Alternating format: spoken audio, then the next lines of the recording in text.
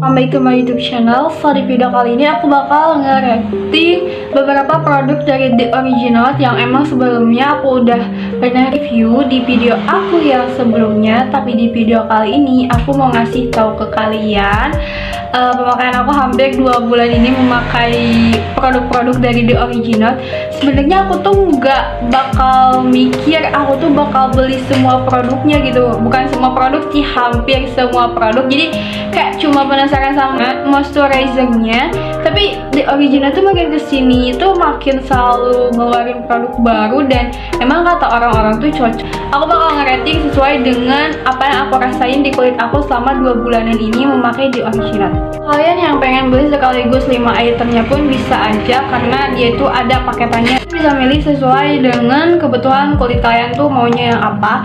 Aku mulai dari face wash. Sebenarnya face wash juga ini tuh udah aku review untuk jenis kulit aku yang normal to dry skin ini. Menurut aku kurang melembabin dan untuk uh, jerawat gak bikin jerawat aku makin banyak juga. Itu untuk jenis kulit oily mungkin gak bakal ngerasa terlalu ketarik. Tapi untuk di kulit aku itu lumayan ketarik. Jadi aku kasih nilai 3 per 5 aja kenapa? Karena dia nggak ngelembabin di muka aku hanya ngebantu membersihkan aja. Di face wash ini dia tuh gel cleanser jadi bening banget dan nggak terlalu banyak busa.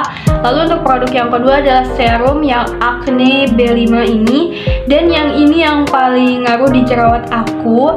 Yang jerawat aku tuh lumayan agak banyak di area dahi dan emang lagi matang-matangnya dia itu menyembuhkan jerawat yang emang lagi matang-matangnya menurut aku di kulit aku ya. Tapi kalau untuk jerawat yang lumayan lama di sebelah sini itu tuh sekitaran dua minggu sampai tiga mingguan baru bisa menghilang si jerawatnya. Dan itu pun aku bantu dengan eksfoliasi dan pakai peeling serum. Untuk teksturnya pun itu cair dan mudah banget meresapnya. Nggak ada bau yang benar-benar menyengat sama sekali. Aku kasih rate 4 per 5 aja Lalu yang selanjutnya adalah A serum. A serum ini kalau kalian berpikir yang teksturnya cair enggak, dia tuh teksturnya lumayan agak kental dengan harga yang 30 ribuan. Ukuran yang segini tuh lumayan banyak. Aku pun ini tuh udah hampir dua bulan kan. Ini udah hampir dua bulan. Ini masih lumayan agak banyak banget. Apalagi kan dipakainya cuma di malam hari. Terus apakah penting pakai eye cream? Berharap dengan pakai eye serum ini bisa menghilangkan mata bekah kalian, mata panah kalian. Mungkin gak terlalu ya, karena di muka aku atau di bawah mata aku ini tuh hanya ngebantu buat melembabkan aja. Tapi dengan yang melembabkan itu lumayan untuk mengurangi kerutan-kerutan yang ada di uh, area bawah mata aku rating 4,5 per 5 karena dia harga selain harganya murah terus ya lumayan bagus juga untuk melembabkan di area bawah mata. Dan yang pastinya dia tuh nggak nyimbulin nggak nimbulin milia sama sekali di area bawah mata. Selanjutnya ini yang paling ini yang paling viral banget yaitu uh, moisturizernya dari The Original ini karena emang sebagus itu untuk melembabkan di kulit aku ya.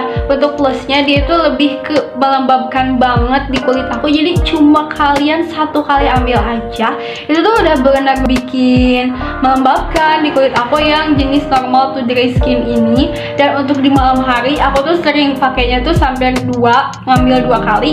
Karena hasil setelah aku bangun di pagi hari itu muka aku tuh lebih kelihatan lebih kencang dan kayak lebih sehat aja gitu.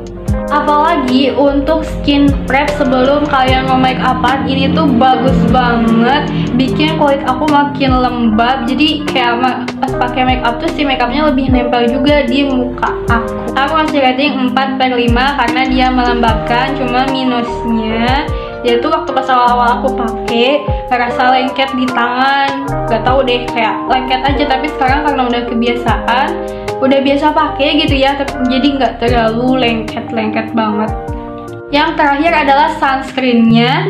Dan aku beli ini tuh pas lagi keluaran formulasi terbaru. Jadi uh, dia nggak bikin perih sama sekali di mata aku. Karena yang waktu awal-awal tuh banyak yang komplain. Katanya pas keringetan matanya jadi perih karena dia pakai sunscreen the original. Dan the original ngeluarin formulasi baru.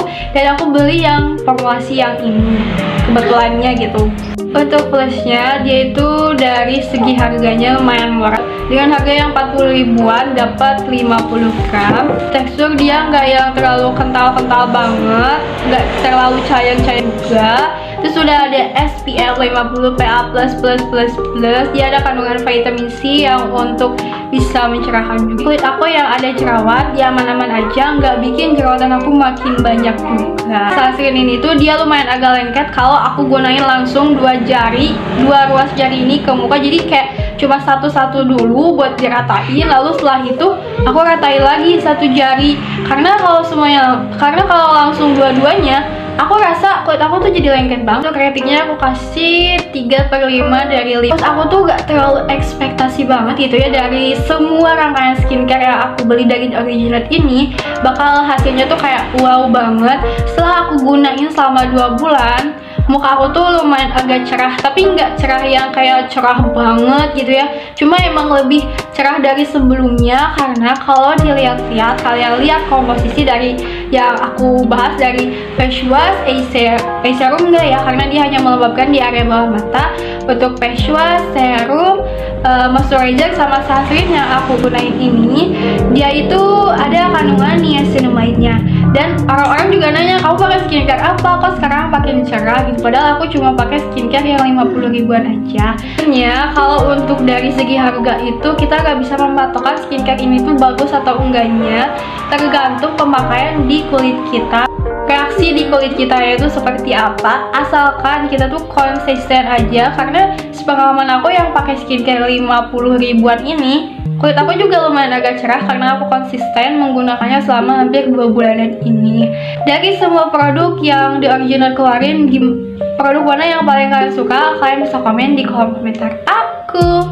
Oh itu aja beberapa review rating aku dari kelima item di original ini. Thank you for watching. See you on the next video.